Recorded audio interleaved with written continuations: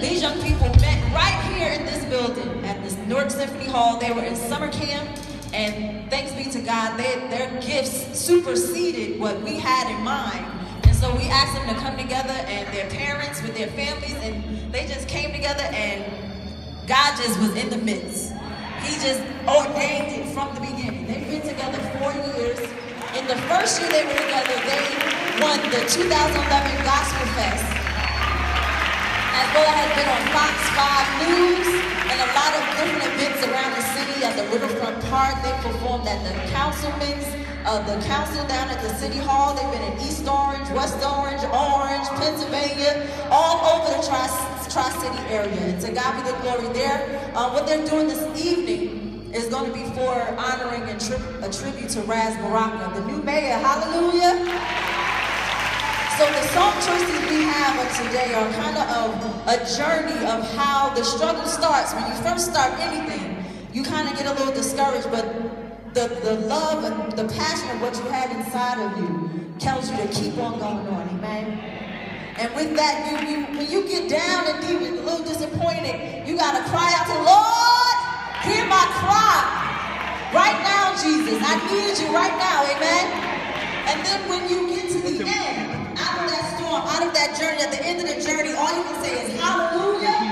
God, I know you are good. Amen. To God be the glory. This is the special ensemble.